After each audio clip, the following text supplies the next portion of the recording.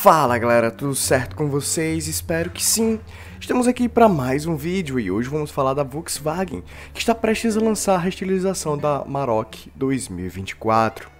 Fabricada aí na Argentina com o objetivo de garantir sua presença no mercado pelo menos pelos próximos 10 anos, a revelação antecipada do design ocorreu aí com o vazamento de uma imagem da picape média, direto da linha de produção, confirmando que adotará a estética semelhante à renovada Saveiro. Galera, eu quero saber a sua opinião, tá? O que acharam, pelo menos desse primeiro momento, da, do design da nova Maroc, beleza? Agora vamos embora. Antes, Peço para vocês se inscreverem deixarem seu like, realmente é muito importante aqui pra gente. Vamos embora, não vamos, vamos ter vídeo até o final do ano, tá?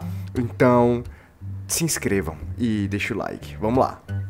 A foto aí, capturada na instalação possivelmente da General Pacheco, lá na Argentina, mostra a, Mar a Maroc né, sem camuflagem, revelando um, uma grade integrada aos faróis em formato de V, destacando aí uma barra cromada central e outra na parte superior, a barra central parece criar uma divisão dos faróis, proporcionando uma aparência distinta. Outro elemento compartilhado com a Saveiro são os faróis de neblina na disposição vertical, substituindo a configuração horizontal anterior. A segunda, né, entrada de ar no para-choque também se destaca, sendo significativamente maior e integrada em uma única peça, em contraste aí com os múltiplos orifícios né, de, da versão da pré-restilização. Embora a imagem forneça insights né, sobre a dianteira, detalhes sobre possíveis alterações na traseira ou no interior ainda não foram divulgados, tá?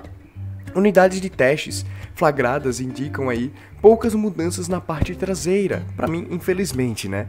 Mas espera-se que a cabine receba uma atualização substancial para a linha aí da picape, para alinhar, na verdade, a picape com os padrões mais recentes da Volkswagen, incluindo a possível adoção da adoção da central multimídia Volkswagen Play, compatível aí com Android Auto e Apple CarPlay sem fio, painel de instrumentos digital, incremento aí do número de airbags e implementação de sistema de assistência com frenagem automática, de emergência e controle de cruzeiro adaptativo.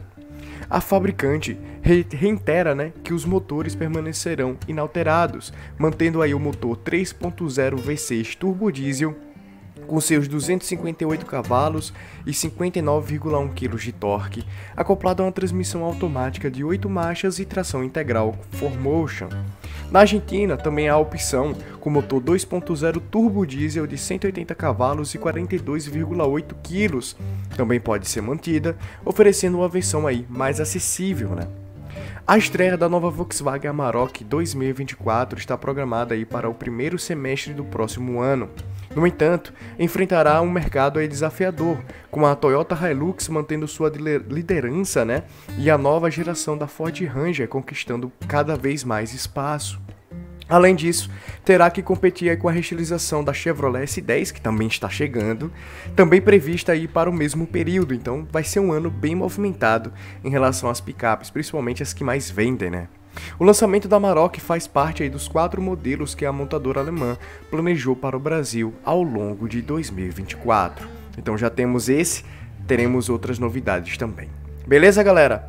Mas enfim, comentem o que vocês acharam, né, sobre a picape e, e essa frenteira, né, da picape, tá? Eu curti, tá? Eu achei que eu ia achar muito estranho, justamente porque parecendo com com a Saveiro, eu não curti muito a Saveiro, mas assim, com um design mais encorpado ficou bacana, tá? Eu queria ver ela em outra cor, que não fosse essa, que parece muito com cromado, né? E tudo mais, aí você não consegue saber o que vai ser realmente cromado, o que vai ser a cor do veículo.